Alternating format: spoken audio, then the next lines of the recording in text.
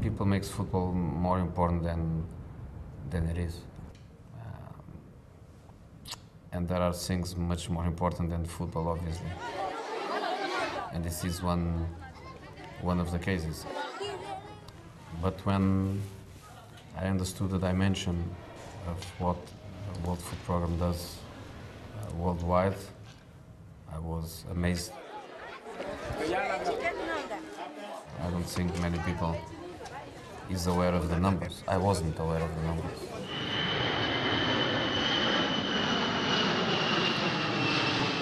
The number of people you you help and support, the number of planes you have in the air and ships you have on the sea and trucks you have on the road and people involved was was amazing. And this is the kind of thing that me and my family we are proud to do. We're giving Jose a new kit today.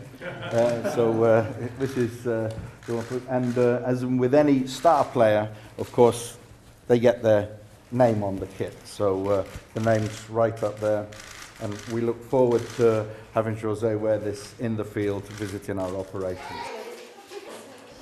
The good thing of football, which is the power that football has socially. So if I can use that power that football gives us uh, socially, worldwide, I think is, uh, is very, very important.